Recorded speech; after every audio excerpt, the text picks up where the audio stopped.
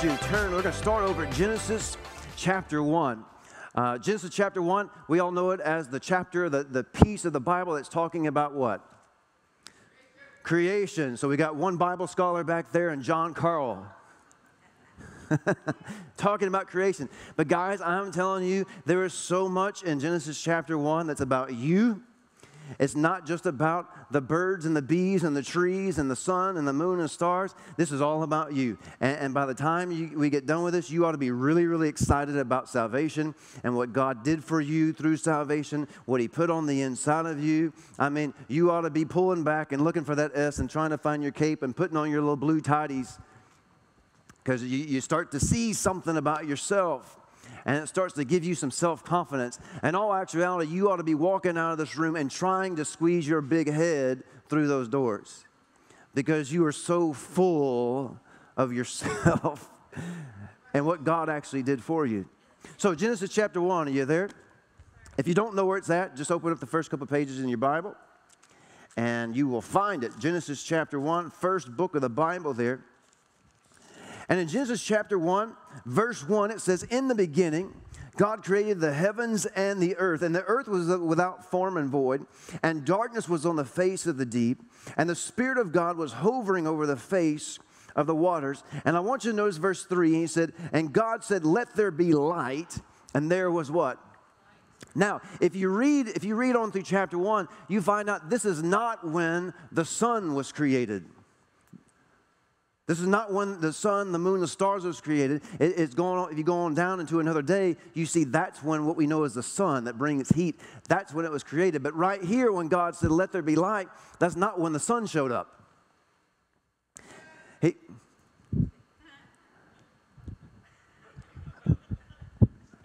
That's not when the sun showed up. He said, Let there be light. The original Hebrew says, Light be. But this was not when the sun showed up. This is when God released himself. I just saw it not too long ago. This is when God released himself. Later on, you find out that's when the sun and, and the moon and the stars show up because then he begins to create these things. But in the very beginning, before anything happens, he said, Light be. He released himself. And the Bible tells us that, that all these things after that begin to be created, and science tells you that light is still expanding. The universe is still expanding at the speed of light. It's still expanding. I mean, for millions of years, the universe is still expanding, still expanding. And it all began from God releasing Himself, light be, because the Bible says that God is light. It says that the Bible says God, He is, he is light, He is life, he is truth, but it also says that He is light. And, not to get too ahead of ourselves, but just to give you, just to kind of preface it a little bit, in John chapter 1 and verse 1, it says, In Him, talking about Jesus Christ, in Him was what? Life, and that life was the light of men. Actually, so we're going to change this all up. So turn over to Second Corinthians, Second Corinthians chapter 4. There's just some things I was seeing uh, this morning. That's why I was a little late getting out here because I, I got a little excited and started preaching myself in my office. You know, the Bible says that the Word of God, it is alive. Do you understand that? This is not just some little book you check out of the library and read, you know, just to do some good read. The Bible is alive. The Word of God, it's alive. And every time you open this thing up, you ought to be expecting not just to read some black and white words, but to actually hear from the voice of God through the words. I mean, you ought to be learning something every, seeing something different every time you open it up. And Second Corinthians chapter 4, and in verse 6, it says, For it's the God who commanded light to shine out of darkness, who has shone in our hearts to notice this, to give what? Give what? Give the light of the knowledge of the glory of God in the face of Jesus. And look at verse 7. Man, this is where it gets good. Verse 7 it says, But we have this what? We have this treasure. We have this light. Where? Where at?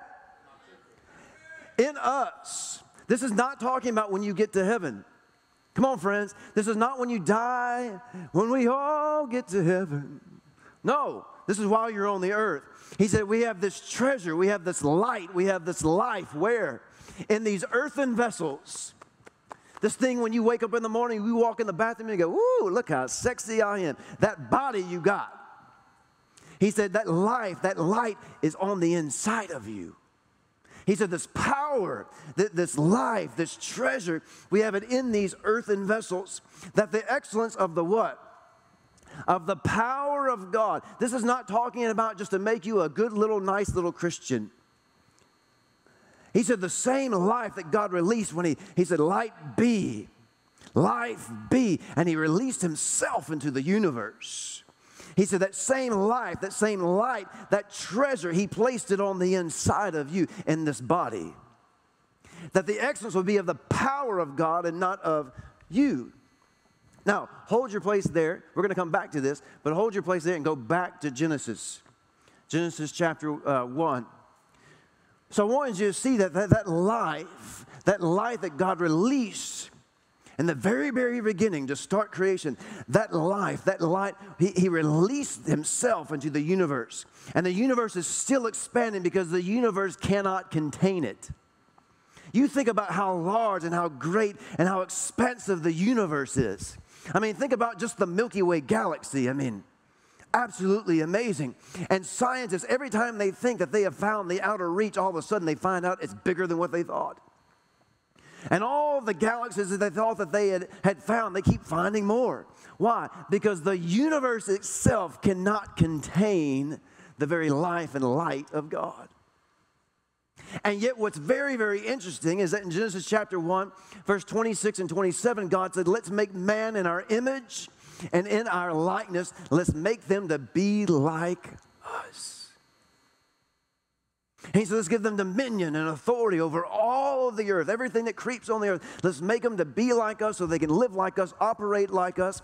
Not that we would uh, be able to replace God. We're absolutely dependent on Him for everything. But He said, let's make a creature. Because remember, He already had the angels. Up to this point, He already had them, but they weren't like Him. They, they weren't on His level. They couldn't fellowship with Him. They were just servants to do what He told them to do. But God created man not only for fellowship, but He needed some more people. He wanted to join the family business. And He said, Let's make man in our image and our light. Let's make them to be like us. Now, let me ask you a question How can you be like somebody yet not have all the same stuff they have? Can't. You have, you have to have the same stuff. And that's why in Genesis chapter 2, and in verse 7, it says that God, He formed the body of, of Adam from the dust, from the dirt of the ground, right? He forms the body, but, but that isn't what you are. You are not a body, right? You're not a body. This is, is not you.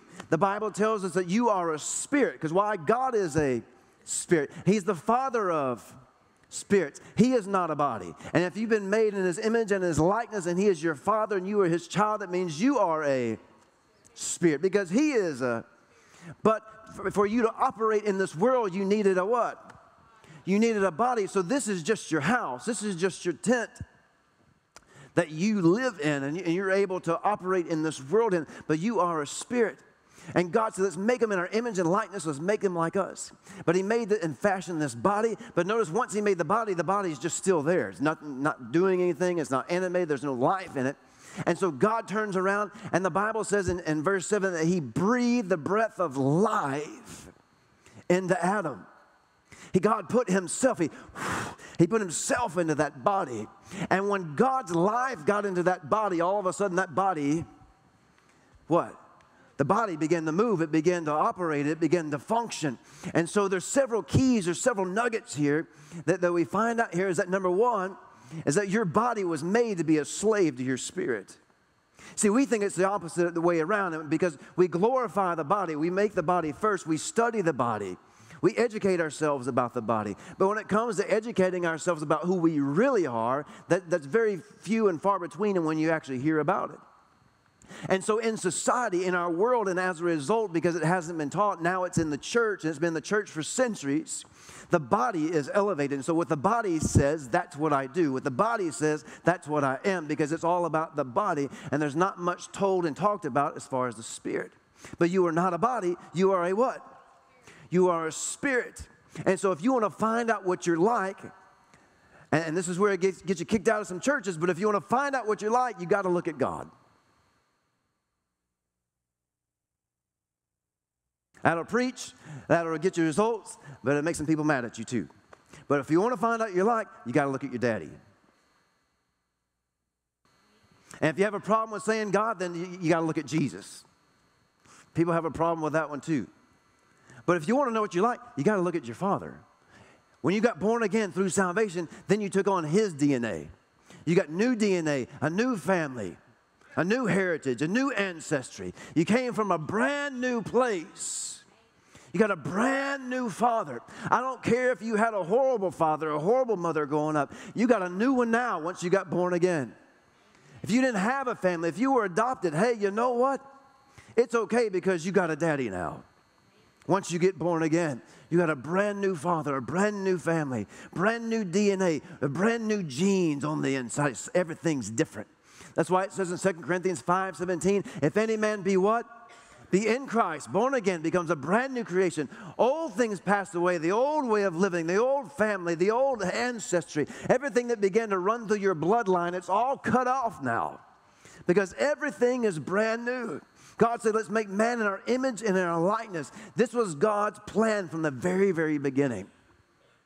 And just because man messed up God's plan in the beginning doesn't mean it's going to stop God's plan from being finished. But you see, God makes the body and He puts Himself in it. And I want you to think about this. And this is the reason that we looked at first at Genesis 1, uh, 3, and 4 there, and went over to 2 Corinthians chapter 5. Think about this. God releases Himself into the universe. And we know that the universe has been expanding for millions and millions, has been expanding and expanding and expanding, and nothing can stop it. The universe itself, as big and as, as vast and as expansive it is, it cannot contain the life of God. But God put His life in your spirit, and your spirit can contain it. That's how mighty and magnificent He made you to be. I don't know if you're catching the significance of that, but I literally just saw this about five minutes ago. The universe cannot contain him, but your spirit can. Just think about it. I, I know it's a mind bender, but think about it. The universe, it cannot contain how great and powerful and magnificent and glorious and majestic that he is. It cannot contain him. It cannot contain him. But God made your spirit to be able to contain him so that everywhere you go, what was released into the universe is literally on the inside of your spirit right now.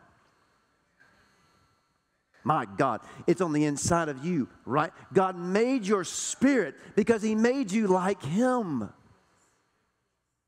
Think about it. God made man in His image and in His likeness, He made him like Him. And God took what was on the inside of him and He released it into the universe. And the universe, as big as it is, it pales in comparison to you. It cannot stop it. It cannot contain it. It can't do anything with it but just, just give way and say, whatever you want, I'll do. I'm your servant. But you, made in God's image, like Him, to be able to contain what He has on the inside of Him. God's life, the, the Zoe, eternal, abundant, everlasting life that He is, God made you to be able to contain it.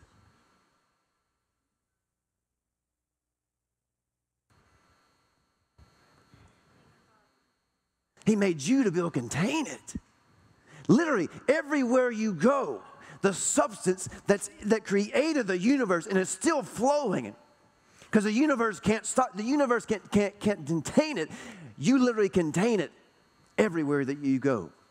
So that literally tells you you are a living, walking miracle waiting to happen anywhere and everywhere that you go. See, the life of God, it, He used it to create. And this is why the Bible tells us that when God, see, see, the Jewish rabbis, they believe this. This is what they teach. They believe that in Genesis chapter 2 and in verse 7, when it says that God formed the body of man and then he, he put his life into them, the Jewish rabbis preach and teach that when God did that, that the angels stood right there and watched and they couldn't tell which one was God and which one was Adam. That's what the, the, the rabbis preach and teach. The angels could not tell which was which Because God made Adam to be just like him in every way except he was dependent on God. He made him in his image and his likeness, and he put the substance of himself into that body. And that's why it also goes on to say in verse 7 in the Hebrew, it says, God made man to be a speaking spirit. He made him to be a speaking spirit so he could act just like his father. See, this goes far beyond this idea of Christianity that we have watered down so badly to where I accept Jesus as my Savior. I go through hell on earth. I can't wait till I die and get to heaven because, oh, it's going to be so much better. That's the Christianity that has been watered down so much to this point today. I'm just a sinner saved by grace. I'm just a, you know, I'm an unrighteous, unworthy worm under a bucket of scum. And, know, one day I'm just going to slither on by and barely get it on there. And I might be able to give Peter a high five if I can get high enough. Like, that's the Christianity that we know, but that is not the Christianity that the Bible talks about. See, guys, you got to remember in Genesis chapter 1 and Genesis chapter 2, this was God's plan for man. And God has never changed. He's the same yesterday, today, and forever. This was his intent with man. And yet we know the rest of the story that Adam, he messed up. It wasn't the woman's fault. We talk about Eve, it wasn't the woman's fault, it was Adam's fault. He wasn't a man one day. He didn't stand up to protect his wife. He didn't stand up to protect creation that God had created and put in his control and his authority. It was Adam's fault. I don't know about you, but when we get to heaven, how many, you want, how many of you want to punch Adam? Just once. Say, you fool. Look at what we had to do because of you. It was all his fault. But, like we said in the beginning, one man's mistake was not going to stop the plan of God. And so God, he had a, he had a plan, and his plan was Jesus. And the Bible refers to Jesus as the last Adam the second Adam, the last Adam. And so God's plan was to send a man because Jesus had to do life as a man. And in Philippians chapter 2, it tells us that Jesus, he laid aside everything that gave him an advantage in life. And he humbled himself and he did life as a man. So every time that you read in the Gospels Jesus doing something, he did it just like you. He did it as you. He had a body like you, a mind like you, a brain like you. The Bible says he was tempted in every single way to go through the temptations that you and I go through and did life just like you and I do so that he could be our high priest, he could be our example, he could also be our sacrifice. But Jesus was God's plan to restore that life. Now, think about it. God put that life into Adam, and Adam lost it. That's what it says when, when God said, Adam, the, don't eat of that fruit because if you do, you'll die. You'll die. He was going to die spiritually. And we know this is the case because when he ate of the fruit, did he die physically? No. He was still very much alive physically. But, friends, that life that God put on the inside of him had saturated every single cell and fiber of his being. And there was so much of that life in there, his body had to, had to learn to die. And the Bible tells us that Adam, even though spiritually dead, separated from God, lost what was in his spirit, that was no longer there, but there was so much of it still in his body. It took him over 900 years to die. Over 900 years. Spiritually dead, sinner, but he didn't know anything about death. His mind hadn't been programmed like ours is to accept what's real in this world and what's normal in this world. The, the normal in this world now was not his normal. His normal was what was normal in heaven. All he knew was heaven. That's all he knew. That was his mindset. That's all he knew. And so, not only did his mind have to be renewed to the, the world's new normal, but his body also had to learn to let go of it. It took 900 years of seeping of it getting out because his body was so saturated with it. And you'll, you'll see where this is scriptural. His body was so saturated with it. So Jesus comes, and real quickly, if, if you turn over to John chapter 1, and you'll, friends, you'll find this all throughout the Bible. It's all there.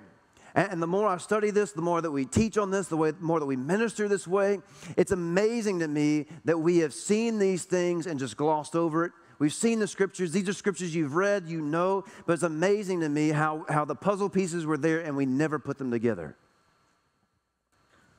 While you're turning to John, turn to John chapter 1 and verse 4. While you're turning there, I want you to think about Adam again. When does sickness and disease and death show up? After he sinned, after he died spiritually, and all this curse came upon the earth, that's when sickness and disease and death started reigning and ruling. That's when these things started happening. But, friends, God's plan was never for you to, to deal with these things, experience these things. He put something on the inside of man so that regardless of what man came against, what was on the inside of him was greater than what was on the outside. That was the plan. This was medicine from heaven on the inside. Now, see, the Bible tells us that the Garden of Eden, he made it just like heaven. It was absolutely perfect. But he gave Adam dominion and authority, and he told him to go outside of that garden and to expand this thing. Take what you see and make everything else to look like this. And so that tells you that the rest of the earth was not like the garden. Because remember, when Adam walked out, things were different. Things were different. And it was his job to go out and make things look like that. But all of a sudden, he lost the authority, he lost the ability, he lost the equipment. He didn't have that life anymore. But God's plan was for this to be on the inside of us to always protect you, to always heal you, so you could walk in divine health. Nothing would ever come in your way, that you would literally be like a bug zapper. Anybody have a bug zapper, especially in the summer around here? What happens? You cut that thing on, and the bugs come against it, and that power, that juice is on the inside. Once they touch that metal, bzz, bzz, bzz, and, and, and, and the light, that life is far more powerful than the stuff that's coming against it. And when the things of this world come against that life and that light, what happens? It dies. Touches it and it dies. Why? Because what's on the inside is far more powerful than what's on the outside. And God made you that way. He made Adam that way. Well, then Adam lost that power, he lost that life, but Jesus came to get it back. And so in John chapter 1 and in verse 4, it says that in him, talking about Jesus Christ, in Christ, in him was what? Life. It's the very same word, very, very same meaning. Is that Zoe life, eternal, what we know as eternal life, abundant life, everlasting life. What we attribute to salvation and going to heaven. The Bible says that God put this inside of Jesus. In him was life, and that life was the light of men. And it says, and the, the darkness could not what? The darkness could not, the, the New King James Version says comprehend. That word compre- comprehend literally means just over, overcome. It couldn't overpower it. It couldn't overcome it. Couldn't conquer it. The darkness, the things of this world could not overcome what was on the inside. Guys, darkness can never overcome light. Light is always more powerful than darkness. I mean, we could cut out every single light in here and it would go pitch black because there's no windows in here. But then you could get the light on your phone. And all of a sudden, just that one little light, all of a sudden, it begins to push darkness back automatically. And you don't even have to necessarily release your faith for it. You just cut the light on. But it says that that light always conquered, always overcame what, was on the outside, the darkness. The darkness could not overcome it. So you see that God, He recognized the issue, recognized the problem, and He had a plan. He was going to send Jesus to be your Savior, but He was going to put what was on the inside of Him and what He originally put in Adam, He put it into Jesus. Because God's plan was not just to get you to heaven, God's plan was to get Himself back into you.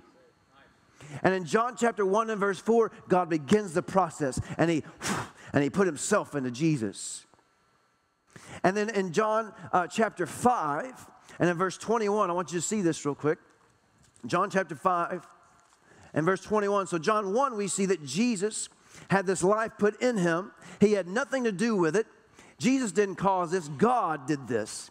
This was the grace of God. He put his life inside of Jesus. And then in John chapter 5 and in verse uh, 21, it says, For as the Father raises the dead and gives what?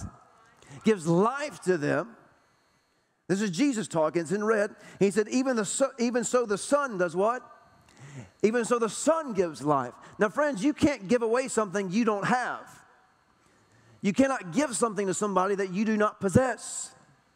Right? I mean, this is my phone. And because this is my phone, I can give it to anybody I want because it's mine.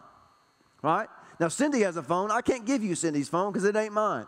I don't possess her phone, it's not mine. But I can give you what's mine. I can give you what I possess. I can give you what I have.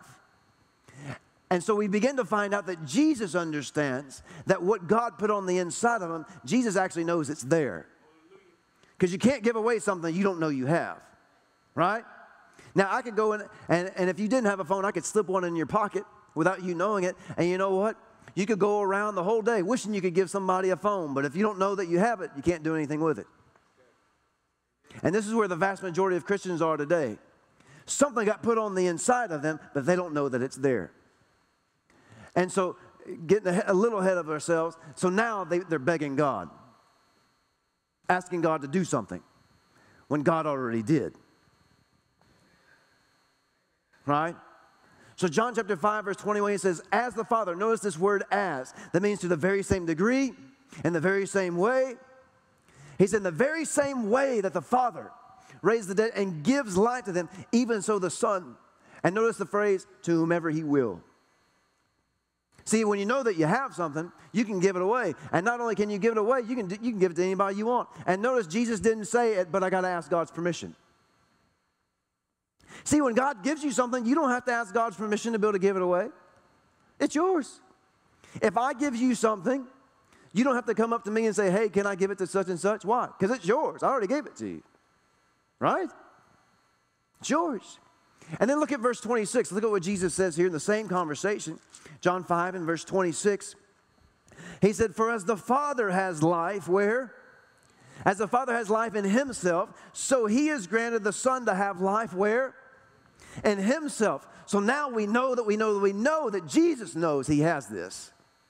He said, The very same life to the very same degree, the very same quality, the very same quantity that God has it in Himself, He has granted me to have it in me too.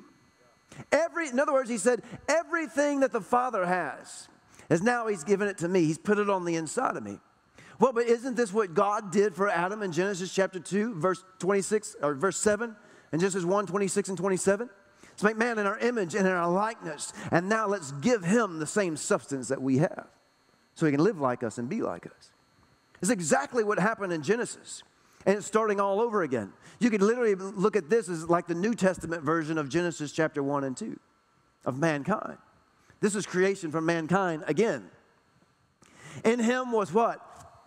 Life. And that life was the light of men, the same light that God released into the universe. And the universe can't contain it, but your spirit can. You see, Jesus could contain, he was a spirit, and you can contain it. You're a spirit. That means wherever you go, you can release it because you still got some there. See, the universe can't contain it. I mean, it's just, but you're a container of it. Guys, I mean, if you don't get anything today, and, I, am, and I'm trying to contain my excitement because I literally saw this right before I came out. This whole thing about the universe, the universe can't contain it, but you as a spirit, you can. You can. And Jesus said, Everything, that life, that same life the Father has, He gave it to me.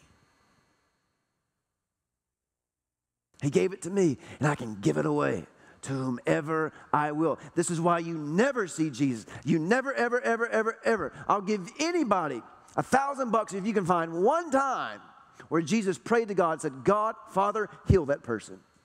You'll never find it. Why? Because God put in Jesus a substance to release into those bodies to bring about the, the needed desire and, and, and the needed result in that body. He put it on the inside of it. He put it on the inside. Friends, this is why Jesus was never sick. People say, oh, he was never sick because he was a son of God. Yeah, but he was doing life as a son of man. And he had a body just like you. He had a body just like you. But he was so full and saturated with the life of God. See, think about this. We were talking about that light. Remember in the Bible when it says that Jesus was on the mountain And Peter, James, and John were with him. And all of a sudden, Jesus was in prayer. He's, he's praying to the Father. And all of a sudden, it says that he was transfigured, or in other words, his body changed. And all of a sudden, he lit up like a light bulb. And it says that his body was shining like a, a, a white, bright light. And he was shining. And not only was his body shining, his clothes were too. So, what was on the inside of his spirit was so saturated in his body, his body couldn't contain it, and it got off into his clothes. And this wasn't a one time thing because if, even if you read in the Old Testament, you see that Moses, when Moses was on the mountain with God for 40 days, just Moses as a sinner, remember, he was a sinner, he was a murderer, he was not saved. He'd messed up severely. But even a sinner, in the presence and the, in the, in the manifest presence of God, that light of God, the presence of God, it got into his body, it got into his skin. And his skin couldn't contain it. And the Bible says that when Moses came down the mountain, his face was shining and it freaked everybody out. And so he put a cloth on his face so everybody wouldn't get scared because the light of God had so saturated his body. Now, if, if, the light, if the life of God would enter into the body of a sinner like that from the outside, what do you think will happen for the saint when that same power is on the inside? Come on, guys. A sinning murderer. And that, that life, that light got into his skin from the outside but his skin could not contain it. See, his skin, his body was of the earth. The earth cannot contain it, the universe cannot contain it, but your spirit can. And if that happened from a murdering sinner from the outside, and then Jesus, the Bible says in John chapter 10, verse 10, Jesus said, I came not to take you somewhere, I came to give you something. Right? He said that the thief has come to what? To steal, kill, and destroy, but I came so I could give you, so you could have life, abundant life, eternal life. Notice Jesus did not say, I came to die on the cross so you could go to heaven. He did not say that. Now, thank God for heaven. There is a heaven. There's a heaven to gain, there's a hell to shun. And whenever you take your last breath as a, as a Christian, or if Jesus comes back, hey, we all get to go to heaven. But that is not what we're living for. If the whole purpose was for you to get saved and go to heaven, then He would save you and then you'd be out of here. That's not the purpose. That was not the purpose of Jesus coming. Jesus came, He said, I came so you could have something. See, in the same way that God said, eh, Jesus, I'm gonna put this on the inside of you. I want you to have something. I'm gonna put it on the inside of you. Jesus said, I'm gonna do just like my Father did. And I'm coming to duplicate myself. And he said, Everything that the Father has and he put on the inside of me, I'm coming so you can have it too. Why? Because Jesus was coming as the last Adam. He was coming to get back into humanity what Adam lost. And if you don't believe me, and if this isn't good enough for you, and that's fine, turn to John chapter 17. Real quick. John chapter 17. So this is Jesus in the Garden of Gethsemane, and he's praying, and he's about to go to the cross. And I love John 17 uh, just, well, we'll read this real quick. Start off with, uh, with verse 14. John chapter 17 and verse 14. And Jesus said, I've given them your word, and the world has hated them because, notice this, they are what? They're not of this world. Just as, notice that phrase, just as, which means what? To the very same degree, very same quality, very same way. He said, Just as I am not from here, they're not from here either. He said, I do not pray that you would take them out of the world, but that you would keep them from the evil one. They are not of the world, just as I am not of the world. Sanctify them or set them apart by your truth, for your word is true. That word truth, it means reality. See, there's a reality here on the earth, but there's also a greater reality in heaven. There, there's the earthly realm and there's the spiritual realm, and the earthly realm was made from the spiritual realm. So, what you see here, it's real, but there's something far more real. There's something far more superior to what you see and feel and hear and taste, touch here. And Jesus is talking about this, and he said, You're from the other realm. And then in verse 18, he said, As you sent me into the world, I'm also sending them into the world. So, the very same way that God sent Jesus is the very same way that Jesus is sending us. And we'll get into this next week. God did, God did not send Jesus ill equipped. God did not send Jesus into this world lacking anything to get the job done. He gave him everything that he needed so that no matter what situation he was facing, Jesus and that light on the inside of him would always overcome it. Would always overcome it. And this is where it gets good. And so, verse 20, he said, I do not pray for those alone, these alone, but also I pray for those who will believe in me through their word. So now, for those people that would say, well, Jesus was just talking about the disciples, no, no, no. Now he's talking about you. He said, All of those that will come, all of those who will believe in me through their word. How many of us have believed in him through this word? Most of us that are sitting here, I guarantee most that are, that are watching online, watching by TV, we have believed in him. So Jesus is praying for you right here. So this is where you get excited. And he said, I pray that they would be one. He's talking about you. He said, I pray that they would be one as I mean, it's two little letters, one little word, but so powerful and so significant. He said, I pray that they would be one as you, Father, are in me. He said, I pray that they would have the same union with me that I have with you. As you, Father, are in me and I am in you, that they would be one in who? Us. Father, Son, Holy Ghost, and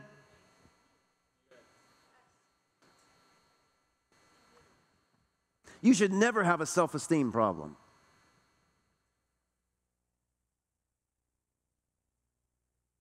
Anyway, I thought that was good. So, okay, thank you, John. I can always count on John. He said that there would be one in us that the world would believe that you sent me. Now, how would the world know that, that because of salvation that God sent Jesus? Because you look like him, you smell like him, you talk like him, you act like him, you get results just like him too. He said, I pray that they would be one in us so the world would know that you sent me. See, friends, this is not just about being a nice little person. This is not just about helping the, the, the, little old lady across the road. This is not just about helping out the homeless person on the corner of the street. You can be a sinner, a ranked sinner, and do that. But if you're going to work the supernatural power of God, when Jesus said, Those who believe in me will do the very same works as me, if you're going to experience the power, if you're going to experience the supernatural, if you're going to hear from God and see from God and get results like God, there's got to be a union with Him so that you have the same equipment and the same abilities and the same substance. And that substance is the divine life of God that He put on the inside of you. And Jesus is about to tell you about it right here. Look at verse 22. He said, And the glory that you gave me, I have done what? I have given it to them. Notice this phrase so that they would be one just as we are one. So you cannot be one with the Father without the same substance. You cannot be one with someone without having the same stuff. It's impossible.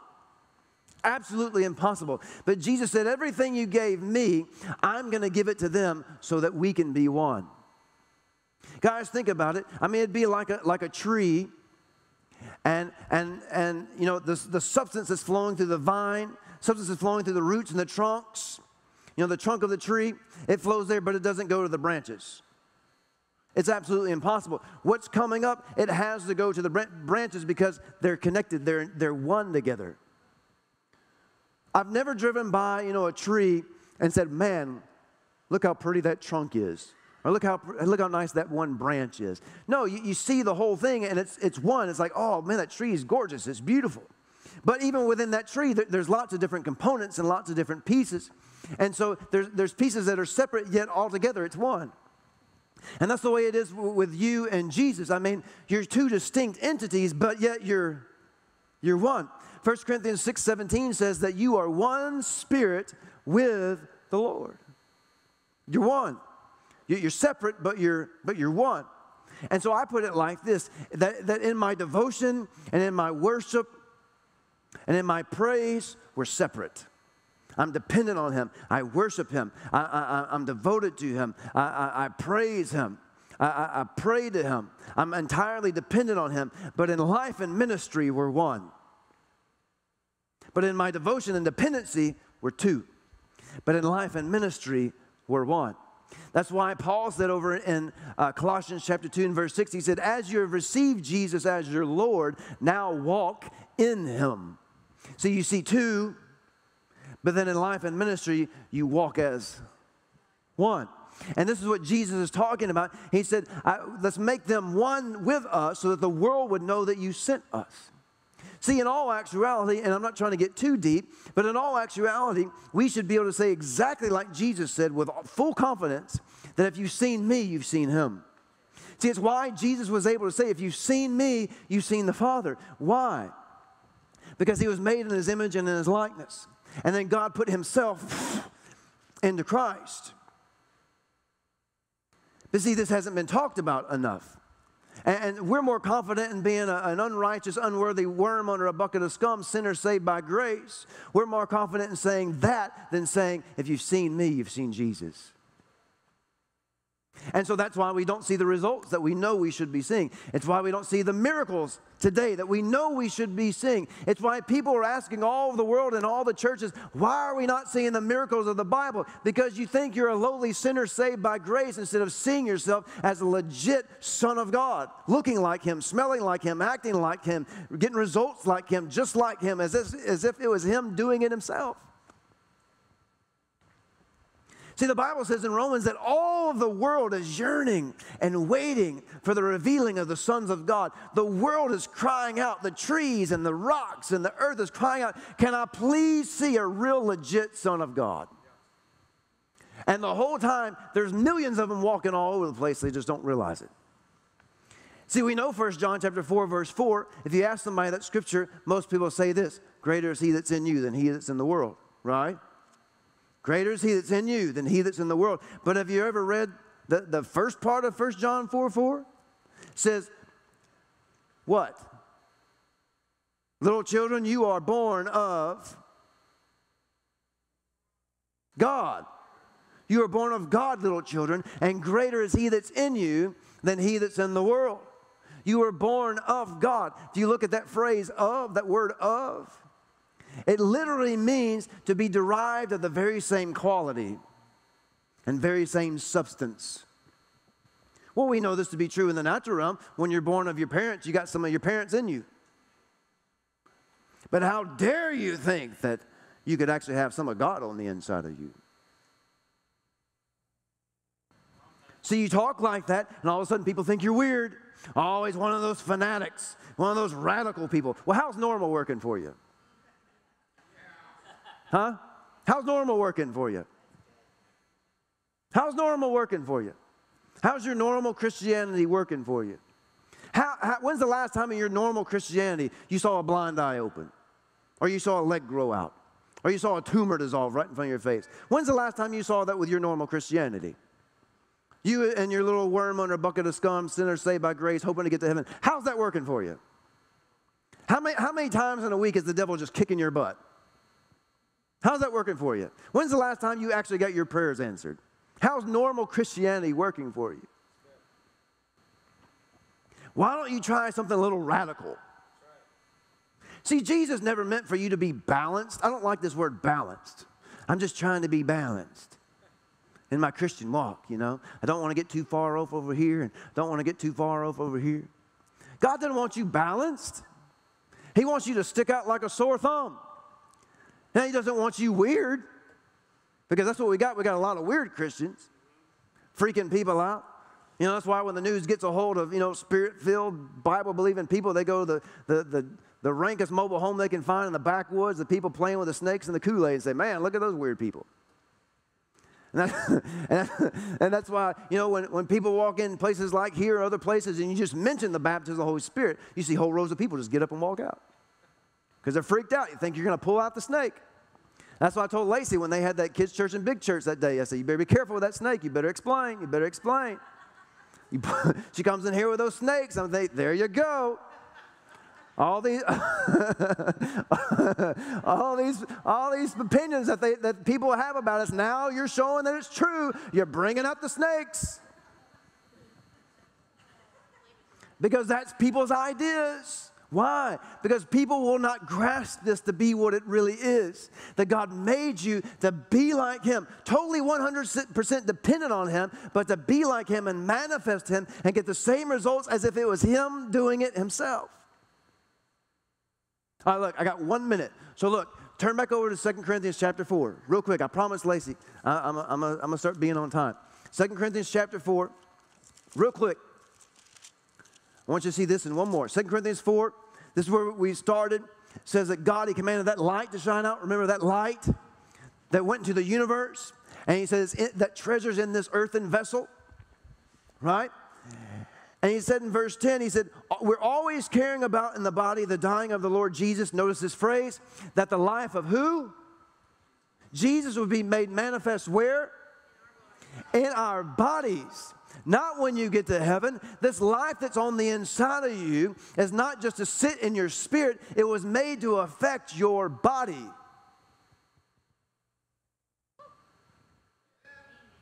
Everything that we've been wanting and people are praying for God and begging for God to do and, and give them, it's literally on the inside of your spirit. And it was made not to just be contained, but to be released.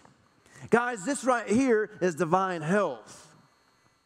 God never meant for us to go from miracle to miracle to miracle to miracle to miracle, from healing to healing to healing to healing. He meant for us to walk in divine health.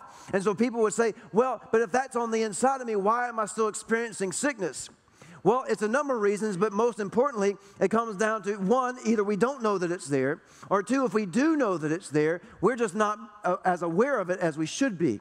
We're more aware of the sickness than we are of the medicine. And I can prove it to you. So, look one more time. So, in verse 10, he said, The life of, the, of Jesus would be made manifest in our body. And then, if you didn't get it the first time, he said, For we who live were always delivered to death for Jesus' sake, that what? So that the life of Jesus would be made manifest where? In our mortal flesh. So for people would say, well, he's talking about heaven. No, that's a bunch of bunk. He said, in your mortal flesh, this right here.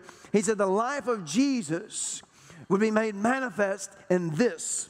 Not when I get to heaven, this stuff right here that's made of the earth, made of the dirt. Right here. And then for the second time, Romans chapter 8, verse 11, it says, the same spirit that raised up Jesus from the dead he said, He's on the inside of you, giving what? Giving life to your what body? Mortal body. It's giving life to your, guys, it's all throughout the scripture. He's there on the inside. That life is there to make, be made manifest in your body, to flow out of your spirit and into your body. So that we don't deal with allergies, we don't deal with flu, we don't deal with cancer. All the things that are of the world, God never intended for us to have to deal with the effects of it. And so you could say, I mean, but yeah, I'm dealing with stuff, but that's okay. This isn't condemning anybody, criticizing anybody. We have to be aware of what God put on the inside of us. And the more aware we become of what's on the inside of us, and I'm not talking about head knowledge. I'm not talking about just knowing scripture, but the more real that becomes on the inside of you, this divine life, that substance on the inside. Friends, I'm telling you, it is the cure for any anything that you're dealing with. It's the cure for anything that anyone else is dealing with for the sinner or for the saint. Friends, the life of God, it is not prejudice. It does not know the difference between the sinner, it does not know the difference between the saint. Because every single person that Jesus healed in his ministry was a what? Was a sinner. There was no salvation made available. So, friends, even if you, you being a saint, you being saved, it doesn't matter what you've done. Doesn't matter how badly you've messed up. if, if it'll work for the person who doesn't have Jesus, it'll work for the person that's covered under the blood and redeemed by the blood of Jesus that's still working out their salvation. So you never have to think that your righteousness or your right living or your mistakes is a hindrance to what's on the inside. All you need to know is I got some medicine on the inside of me the very same life that, that God released, and the very same life that, and you'll see it next week, the very same life that flowed into, uh, into Jesus and flowed out of Jesus and flowed into the multitudes, it's on the inside of me. The Bible says in, in Romans, it says over in Corinthians that, that when your mind, when you put your mind on the things of the Spirit, that it produces two things. It produces life and it produces peace. That word peace meaning nothing missing, nothing broken, wholeness. So, so, so for those of you who may not be here next week, you're saying, man, well, how, how do I get this to work? It's what you put your mind on. You already have it on the inside of you. But he said, those that are spiritually minded, the result of that will be life and will be peace. And so I would highly, highly encourage you spend some time thinking about what's on the inside of you. Life. Those of you that grew up in church like I did, I promise I'm shutting up right here. Those of you that grew up in church like I did, we used to sing a little song. It said, I've got a river of life flowing out of me. Makes the lame to walk and the blind to see. Opens prison doors, sets the captives free. I've got a river of life flowing out of me. Spring up a well. See, Jesus said there's a, there's a well I'm going to give you. He, he, he told the woman at the well, he said, if you would have asked me, I would have given you I would have given you some water that would never run out. He said, I'm going to give, give to you something that's going to be like a well springing up into everlasting life. See, there's this substance that's trying to, to ooze on out of your spirit, and it's right there just to get into your body. And the more you become spiritually minded and put your mind on that, it will flow, and it will flow, and it will flow, and it will flow, and it will flow. And it's exactly what David was talking about in Psalm 91. Those who abide under the shelter of the Almighty, who abide in Him, no evil will befall you. No plague or calamity shall near, come near your tent. We could go on and on and on with this, but we're going to stop. So, say this with me I've got the life of God in me. I'm full of His Spirit and His ability. I've got the life of God in me. The same life that flows out of God and is flowing in the universe and flowed into Jesus is now flowing in me. Jesus is the vine, and I am the branch. And what flows in Jesus, it flows in me. As Jesus is, so am I in this world. And the life of Jesus is on the inside of me, and it's being made manifest in my flesh. It's affecting my mortal body right now. It's flowing into every pain right now. It's flowing into every piece that's diseased right now. Every part of my body that has some death in it, has some stuff of the world that shouldn't be there. By faith, I release the life of God right now out of my spirit. And I command it to flow into my body and bring about healing and bring about health, to bring life and wholeness and peace into my body. Those things that aren't operating, I command them to begin to operate right now. Those joints that, that had lack of motion and movement, I thank you the life of God's flowing into it right now. Like oil being put onto a rusty joint, a rusty bolt, that these things are being loosened up and being released right now. The life of God on the inside of me the life of God on the inside of me, flowing into my body, flowing into my body. What needs to be created, being created. What needs to be fixed, being fixed right now. Removing what needs to be removed and creating what needs to be created. I've got the life of God in me. I've got a river of life, and it's flowing out of me. It makes what's lame to walk, and it makes the blind to see. What's been prisoned and chained up in my body is now being released with liberty. I've got the life of God on the inside of me. Hallelujah. Everywhere that I go, miracles happening through me. Everywhere that I go, the creative force and power and life of God, not only for my body, but also all those that I come in contact with all those that are around me, so that I'm just like Peter and his shadow. Just when people, they want to get near me, just so they can experience that life. They want to touch me, just so that what's flowing in me will flow out of me and flow into them. So that they would see Jesus and hear Jesus, but also experience Jesus through me. Hallelujah. Praise be unto God. Hallelujah. Hallelujah. What's flowing in Jesus right now at the right hand of God is flowing on the inside of you right now. Come on, guys, this is not religion. This is not some made up doctrine. This is Christianity. This is real Christianity. This is the life of a Christian. This is the life of a man or a woman in Christ, united with Christ, united and filled with God Himself. Hallelujah. Praise be unto God. Hallelujah. Say it with me. The Lord, He's good, and His mercy endures forever. The Lord, He's good to me, and his mercy endures forever. He is good to me. The Lord, he's good to me. And his mercies endure forever and ever and ever. Hallelujah. Praise be unto God. Hallelujah. So, see, you ought to be looking for that big S right now. There ought to be some, some red undies on right now, you know. you start talking like this, you start thinking like this. People think you're nutty, people think you're batty, but man, you get in the bedroom and you just want to. You feel like you feel like you're something special because you are. You are something special. You are not from here. You were, you were sent, created, born, birthed from another place. Sent here not to, not to just fit in, but to stand out and take over.